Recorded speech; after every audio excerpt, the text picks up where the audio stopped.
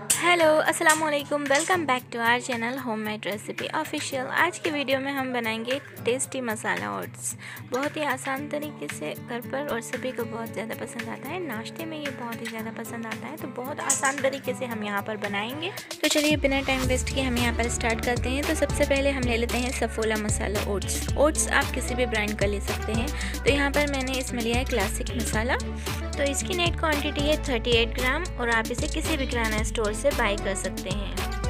तो रख देंगे हम गैस पर एक पैन को और उसमें ऐड कर देंगे हम ऑयल। तो यहाँ पर मैं टू टेबल स्पून जितना ऑयल ऐड कर रही हूँ। तो बिना मेजरिंग के मैंने यहाँ पर ऑयल ऐड किया है। तो आप अगर डाइटिंग पर हैं तो कम ऑयल ऐड कर सकते हैं। तो यहाँ पर मैं एक बड़ा साइज़ का प्याज जैसे मैंने बारीक कट कर लिया है, उसे ऐड कर देंगे और इसे फ्राई कर लेंगे। तो इसे फ्राई हमें बिल्कुल गोल्डन सा कलर आने तक नहीं करना है। बस थोड़ा सा हमें इसे सोटे करना है और बस इतना ही काफ़ी है। तो यहाँ पर प्याज थोड़ी सी सॉफ्ट हो चुकी है। तो हम इसमें ऐड कर देंगे दो ग्रीन चिलीज़ बारीक कट करी हुई। तो यहाँ पर तीखी वाली हरी मिर्च नहीं ली है मैंने। अगर तीखी हो तो आप एक भी ले सकते हैं या अपने टेस्ट के अकॉर्डिंग कमियाँ ज़्यादा कर सकते हैं। तो इसे हम थोड़ा सा सौते करेंगे। उसके बाद हम इसमें बाकी की सब्ज़ियाँ ऐड करेंगे। तो सब्ज़ियाँ अभी आपको अपने मन मुताबिक लेनी है। जो भी चाहें आप इसमें ऐड कर सकते हैं। आप इसमें मूली भी ऐड कर सकते हैं। आप इसमें गाजर भी ऐड कर सकते हैं। तो बीट रूट भी ले सकते हैं आप इसमें। और यहाँ पर मैं ऐड कर रही हूँ शिमला मिर्च। एक शिमला मिर्च को मैंने मोटा मोटा सा कट कर लिया है और ऐड कर दिया है टू टेबल स्पून फ्रोज़न मटर। अगर आपके पास फ्रेश मटर है तो आप वही यूज़ कीजिए और एक बड़े साइज़ के टमाटर को भी मैंने मोटा मोटा सा कट कर लिया है, उसे ऐड कर देंगे। मोटा मोटा नहीं छोटा छोटा सा कर लिया है और उसे ऐड कर दिया है। अब इसी टाइम पर हम सारे मसाले ऐड कर देंगे। तो यहाँ पर मैंने हल्दी पाउडर लिया है half teaspoon one teaspoon लाल मिर्च पाउडर। तो यहाँ पर मैं देगी मिर्च ले रही हूँ। आप कश्मीरी लाल मिर्च भी यूज़ कर सकते हैं। अगर आप मिर्च कम खाते हैं तो। और ऐड कर देंगे हाफ़ टी स्पून सॉल्ट और एज पर योर टेस्ट। और इन सभी को कर लेंगे मिक्स। अच्छी तरह से सौते कर लेंगे। एक मिनट के लिए।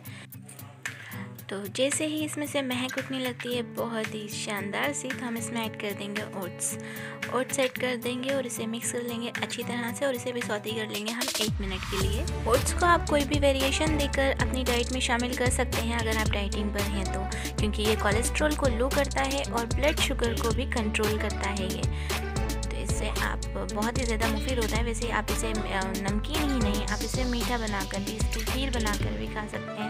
ब्रेकफास्ट में आप इसे शामिल कर सकते हैं। ब्रेकफास्ट के लिए बहुत ही बढ़िया सी चॉइस है ओट्स अब यहाँ पर हम ऐड कर देंगे पानी। पानी हमें लेना है, जितना हमने ओट्स लिया है, उतना ही हमें पानी लेना है। बिल्कुल सेम हमें क्वांटिटी में पानी को ऐड करना है।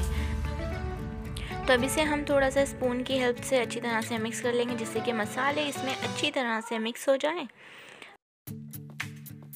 तो अब यहाँ पर हम गैस की फ्लेम को मीडियम टू लो कर देंगे और इसी फ्लेम पर हमें इसे पकाना है। अब इसे पकने में ज़्यादा टाइम नहीं लगेगा। एक से दो मिनट में ही ये पककर तैयार हो जाएगा क्योंकि फटाफट इसमें बॉईल आ जाता है और फटाफट से ही ये थिक हो जाता है। ओट्स बहुत जल्दी थिक हो जाता है। तो यहाँ पर ये देखिए, यहाँ ये गाढ़ा होना स्टार्ट हो गया है। तो इसे आप अपनी फेवरेट कंसिस्टेंसी के अकॉर्डिंग ही पकाएँ। आप अगर ज़्यादा इसे थिक रखना चाहते हैं तो थिक रख लीजिए बट इसकी परफेक्ट कंसिस्टेंसी ही वही है कि हमें इसे थोड़ा सा थिक रखना चाहिए। आप इसमें टमाटो सॉस भी ऐड कर सकते हैं इस स्टेज में। क्योंकि इसमें बहुत ही बढ़िया फ्लेवर आता है टमाटो सॉस का बट मैंने यहाँ पर ऐड नहीं किया। है इससे पहले मैंने जब इसे ट्राई किया था तो मैंने इसमें टमाटो सॉस ऐड किया था। तो वो खाने में तो बहुत ही बढ़िया लग रहा था, पर मुझे थोड़ा सा खट्टा ज़्यादा लग रहा था, इसलिए मैंने इसमें ऐड नहीं किया है। तो आप इसमें टमाटो सॉस भी ऐड कर सकते हैं। हो सकता है आपको पसंद आ जाए।